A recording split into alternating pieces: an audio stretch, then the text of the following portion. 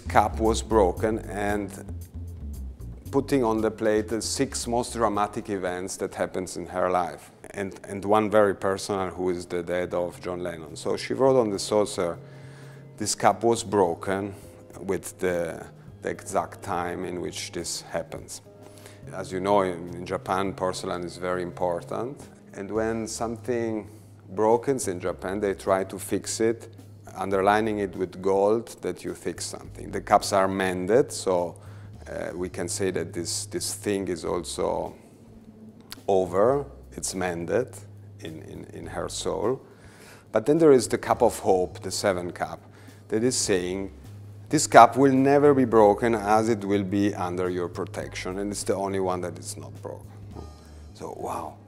Uh, en wij zijn uitgenodigd door uh, Illy om jullie iets te vertellen over kintsugi. Kintsugi betekent in het Japans repareren met goud.